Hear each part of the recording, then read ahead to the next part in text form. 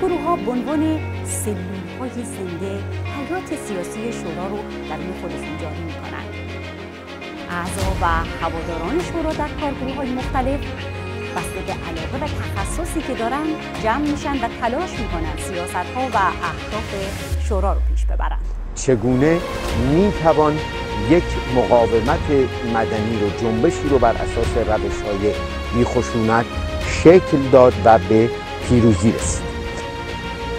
در این برنامه مایلم با میهمانانم در مورد حمله سایبری هکرهای جمهوری اسلامی به کشور آلبانی صحبت کنم. دستاوردهای حملات سایبری هکرهای جمهوری اسلامی به کشور آلبانی رو بررسی کنیم و اینکه آیا تهدید یک کشور عضو ناتو تأثیری بر روند مذاکرات برجام خواهد داشت. در هفته های گذشته در برنامه برابرانه از مهارت ها و اولویت های حرف زدیم که برای مواجه شدن با فرد آسیب دیده ضروریه. به همین دلیل هم. در همین راستا این هفته به سراغ متن می‌ریم که نویسنده برنامه در سایت مدرسه فروغ به چاپ رسونده تا در اون به نکات مهمی که در این رابطه اشاره شده بپردازیم.